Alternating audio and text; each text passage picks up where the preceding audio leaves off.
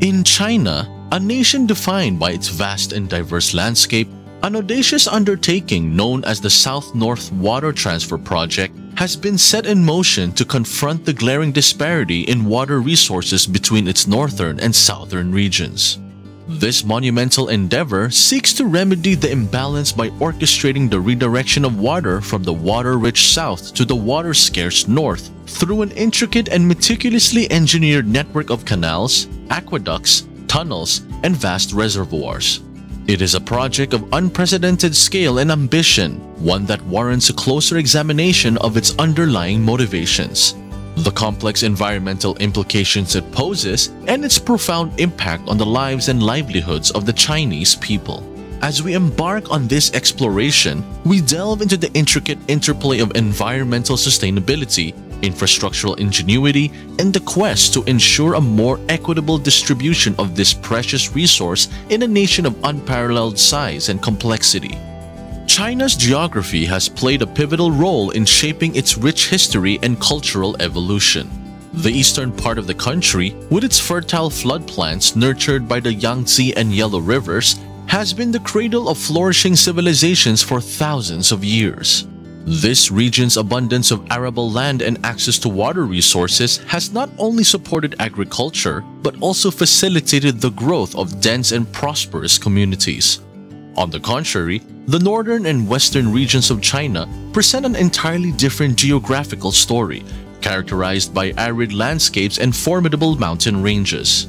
These landscapes limit the agricultural potential and discourage large-scale human settlements. This stark contrast in geographic characteristics has given rise to a distinct division, highlighted by a symbolic line that runs through the country. The majority of China's vast population, an astonishing 94%, calls the eastern part of the nation home, drawn to the fertile plains and the life-giving waters of the Yangtze and Yellow Rivers. This profound geographical division not only underscores the importance of geography in shaping civilizations, but also illustrates the imbalanced distribution of China's population and resources. Northern China, exemplified by major urban centers like Beijing and characterized by its dense population and thriving industries, has been locked in a relentless struggle with water scarcity that spans decades. The region's groundwater reserves, once a vital lifeline, have been extensively tapped into to satisfy the burgeoning needs of urbanization and industrialization. In addition to this formidable challenge, northern China faces the encroachment of the relentless Gobi Desert in Inner Mongolia and widespread desertification, largely propelled by the confluence of human activities and the specter of climate change, further exacerbating the region's already complex and pressing water woes. The origins of the monumental South-North Water Transfer Project can be tracked back to a visionary proposal by Mao Zedong in 1952. At that time, Chairman Mao floated the ambitious concept of redirecting water resources from China's water-abundant southern regions to alleviate the chronic water scarcity afflicting the country's northern areas. However, it wasn't until nearly five decades later, in 2002, that this ambitious vision was translated into reality when the project received official approval from China's State Council.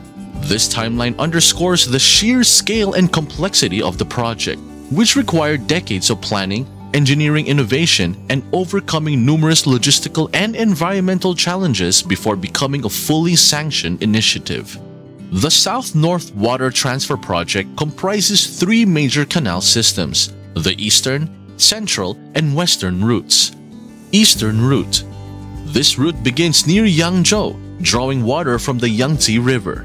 It utilizes the Jinghang Grand Canal, the world's longest artificial waterway, to transport water across the Yellow River. Aqueducts then convey this fresh water to Tianjin and Beijing.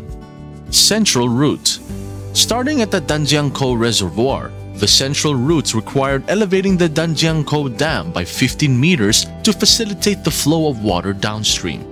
This route features a network of canals and aqueducts that traverse China's central plain and ultimately reach Beijing. Western Route This route, still in the planning stage, poses the greatest engineering challenge. It aims to connect the Yangtze and Yellow rivers through the Qinghai Tibet Plateau, an area known for its high altitude and rugged terrain. Construction in this region could trigger landslides and environmental degradation. The South-North Water Transfer Project, while addressing China's pressing water distribution issues, has triggered a host of significant environmental concerns. One of the most profound impacts is the alteration of natural river flows due to the extensive system of canals and aqueducts. This transformation has resulted in the disappearance of approximately 600 natural rivers, disrupting the delicate ecosystems that depend on them. Moreover, the artificial waterways have become conduits for industrial waste and sewage, primarily due to the absence of adequate water treatment facilities. This contamination poses a severe threat to water quality and aquatic life along the project's path. A particularly alarming concern arises from the reduced flow of water in the Yangtze River, which has implications for saltwater intrusion along China's coast. The potential for saltwater intrusion could exacerbate the nation's water crisis, leading to significant consequences for both agricultural and freshwater supplies. The Western Route, a component of the project, raises specific environmental red flags.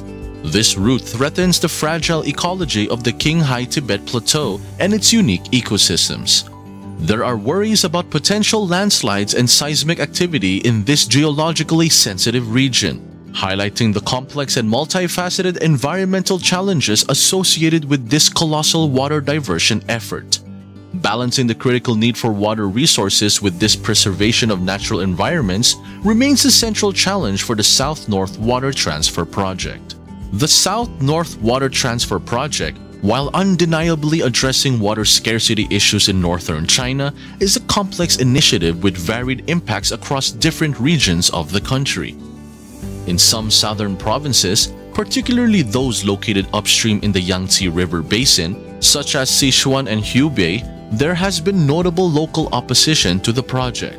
The concern stems from the diversion of their water resources to the north, which raises fears of potential water scarcity in their own regions.